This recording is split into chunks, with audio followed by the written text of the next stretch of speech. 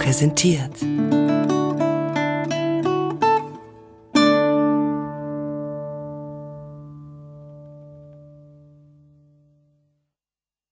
Jutta Langreuter Piratengeschichten für drei Minuten.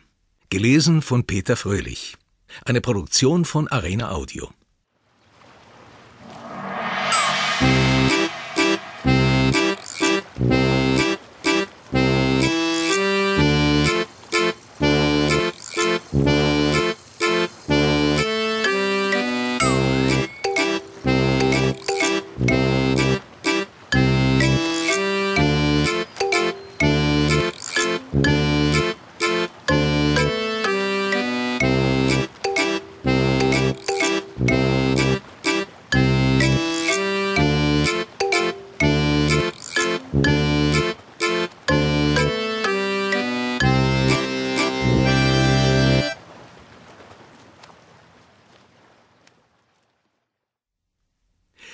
Auf dem Piratenschiff ist der Teufel los.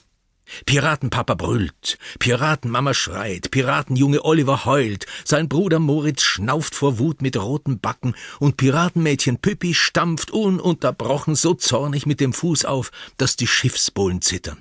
Nicht einmal, brüllt Piratenpapa, nicht einmal können ich und Mama kurz mal ein Mittagsschläfchen in der Kajüte halten, sofort passiert hier oben an Deck was. Hör mit dem Stampfen auf, Pippi.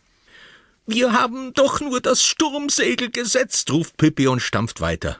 Und war Sturm da? keift Piratenmama. Wo ist hier ein Sturm? Und den Kurs Nord-Nordost habt ihr auch nicht eingehalten.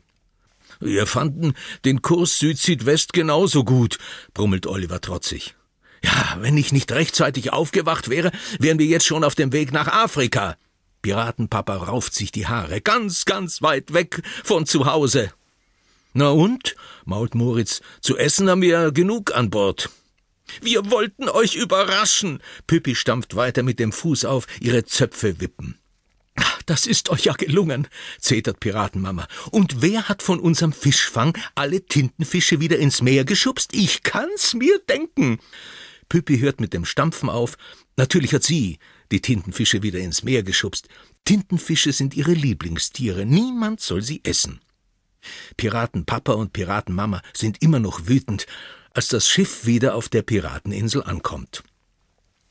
Alle Piraten stehen besorgt am Ufer.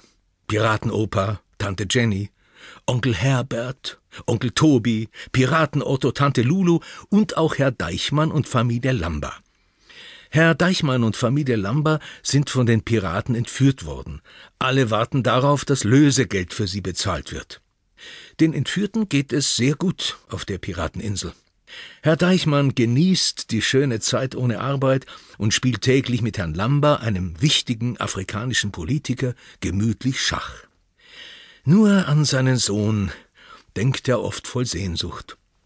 Wir dachten schon, ihr wärt gekapert worden, begrüßt Onkel Herbert die Heimkehrer. Oder in einen Sturm geraten und ertrunken, schreit Tante Jenny. Sturm, von wegen, seufzt Piratenpapa wütend. Oder als Sklaven mitgenommen worden, brummt Piratenopa. Oder von der Marine geschnappt worden, ruft Tante Lulu.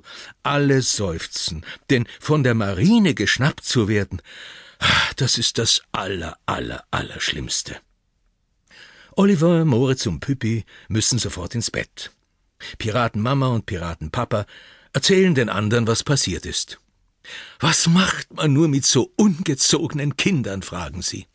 Eine tüchtige Tracht Prügel hat zu meiner Zeit immer geholfen, murmelt Piratenopa. Die kriegen einfach keinen Nachtisch mehr, bestimmt Tante Jenny. Drei Wochen lang dürfen Sie auf kein Schiff, schlägt Piraten Otto vor. Ist das nicht ein bisschen sehr hart? fragt Onkel Herbert. Es ist doch alles ganz klar, sagt Onkel Tobi. Moritz und Oliver wollen endlich richtige Piraten sein. Sollen sie doch. Jeder Pirat muss sich früher oder später bewähren. Oliver und Moritz bekommen mein kleines Schiff, das ich nicht mehr brauche. Und erst, wenn sie einen Schatz erbeutet haben, dürfen sie zurückkommen. Ja, das Leben ist das Leben.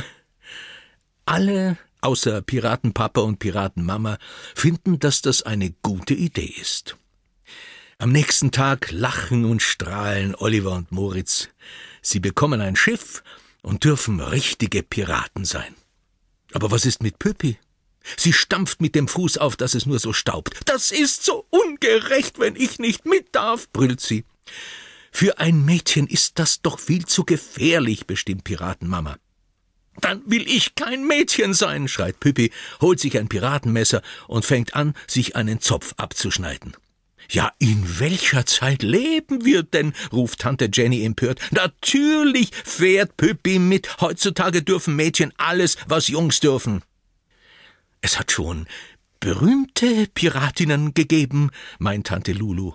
Sie ist genauso mutig wie ein Junge, sagt Onkel Tobi.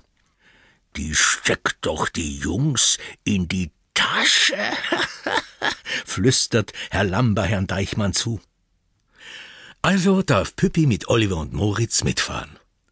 Hat Piratenmama Püppi, Oliver und Moritz beim Abschied einen Kuss gegeben? Könnte sein.